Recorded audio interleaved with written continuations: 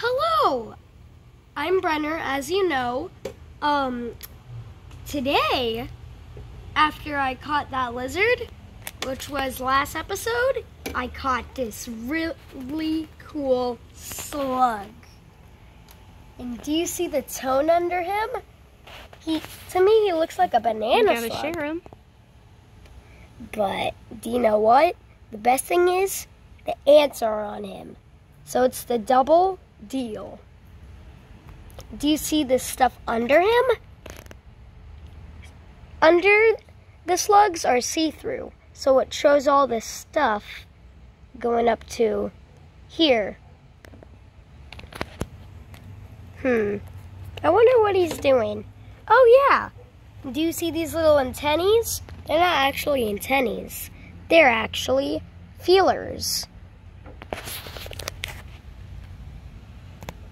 I found him on a patch of a rock, but he is super cool.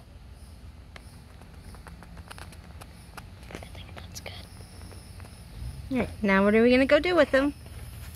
We're gonna take him out to the wild. And do what? Huh?